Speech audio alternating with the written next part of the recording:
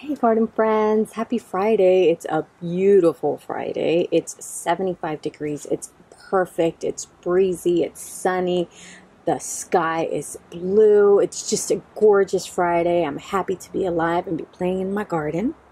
And today I'll be planting beautiful Othonna capensis, aka ruby necklace. And I'll get this a little closer here so you can see it a little better.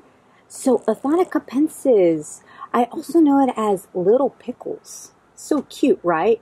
But as you can see, why you know you can see why they call them little pickles because the leaves are super juicy they're fleshy they're long and narrow and their primary color is green but their secondary color is purple they can even turn like almost black like just dark dark purple and you see the stems here they grow on like these beautiful purple stems.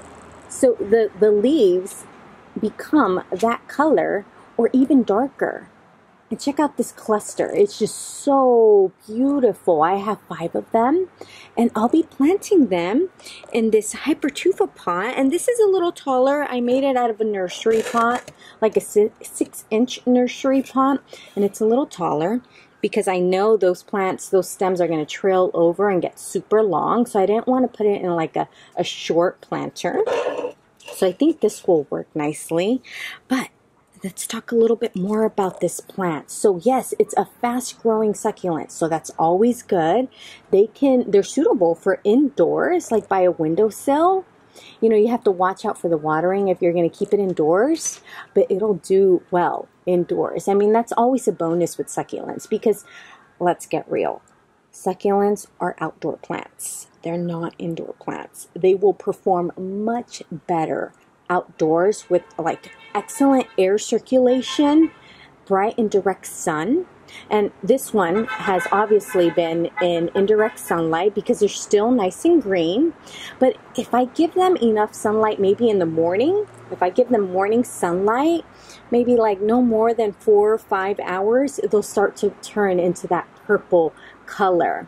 You don't want to give them too much sun because they will burn. You know, even though you give them tons and tons of water, they'll start to shrivel up and they won't grow as long. But if you just give them just enough sunlight, they'll grow nice and long, meaning the stems will grow nice and long, and they'll start to bloom. They bloom beautiful daisy-like flowers. I mean, it's just a gorgeous plant. So they'll, they'll grow these little daisy-like yellow flowers all over. It's so gorgeous. This plant is perfect for like a hanging basket but I only have a, a little. Like I said, I only have five right now that I can fit in here. I wish that I could, you know, spare spare enough for a huge hanging basket for sure. But I'll get started now that we know a little bit about this plant. It's, you know, I love trailing succulents and it's a different one. It's not like, you know, I, I know that like um, string of pearls that's a more common trailing plant.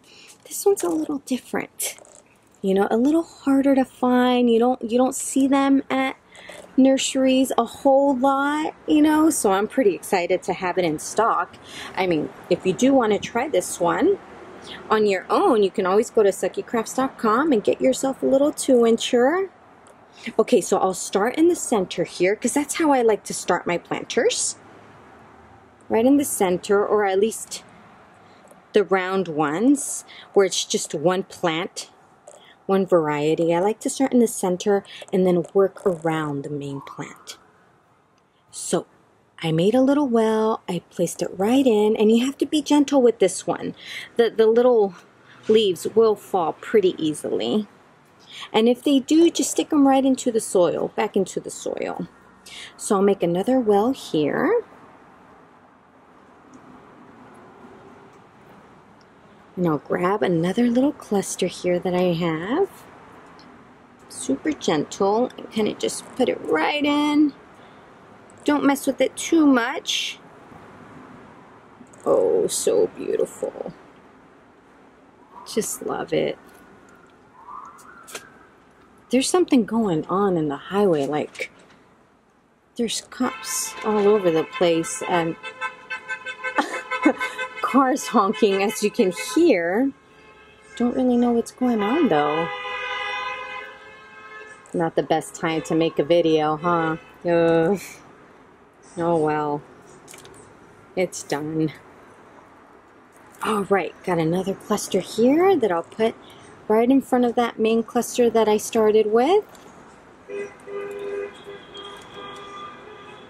There's so many things going on these days that you just never know. Like you see, I just lost a little leaf there and I, it kind of tore off, but I'll still be hopeful and kind of just stick it in the soil there. And maybe it'll make another pop. Maybe it will. And I'll do another, so I have two more clusters. So I'll focus on putting one right here and then putting one another another one right here.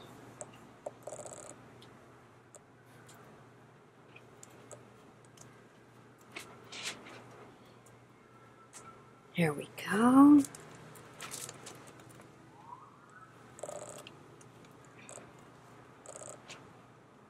I hope everyone's having a beautiful Friday. Things seem to be going back to normal when it comes to the you know what. I don't want to even say the word. But, you know, people seem to be going back to work. There's a lot more traffic around here.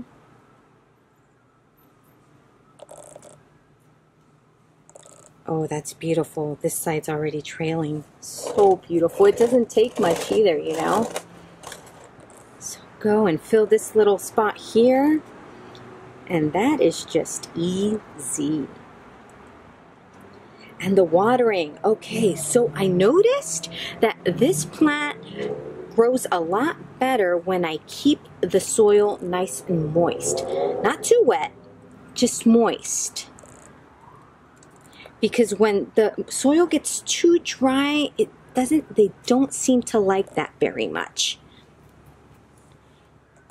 But if you're not sure about the watering, you know, if you're a beginner, I, I just recommend that you use a moisture meter for sure because it'll always tell you if it's moist or if it's dry.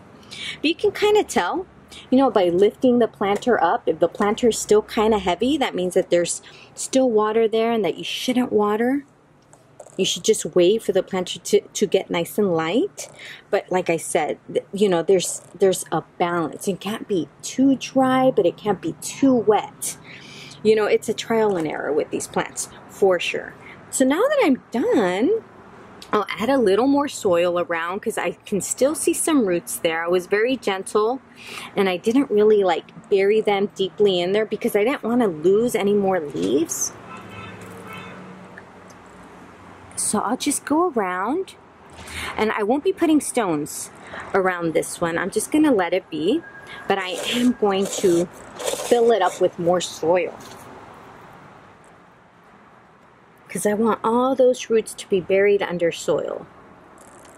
Don't want them to be sticking up because the roots will just dry up immediately. And, you know, the roots to a plant is what helps the plant absorb the nutrients and the water. So it's very important that you get at least the roots in there. So I'm always looking out for that. So if I see some roots sticking up, I'll just add more soil to the top of them. And I see this little part here needs a little more soil. So you see how easy it is. You know, all you have to be is a little gentle with them Put them in a tall planter, a hanging planter, a basket, and sooner or later, because it's fast growing, you'll get that trailing effect that we all love.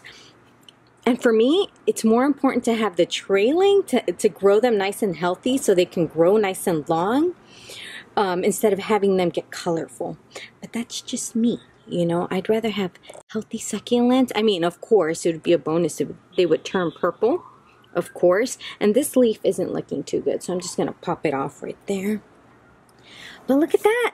That was it. Oh my goodness. So pretty. I'm going to get my jumbo brush here and just brush some of this soil out of the way. Oh, look at that. Oh my goodness. So pretty. They look like little green beans to me. Oh. And that's all there is to it. So if you want to try it out, go to succycrafts.com and get yourself a little two incher and tell me how it goes. Well, I hope that I can keep them alive and hopefully I can give them enough light without burning them so they can turn that purple color and I can update you on how they're looking. And we'll see how long it takes. And you can see I popped another leaf. Very, very fragile. Ah, but you gotta love them, right? All right, well, I hope that you enjoyed this video and that you learned something new. So until next time, guys, bye.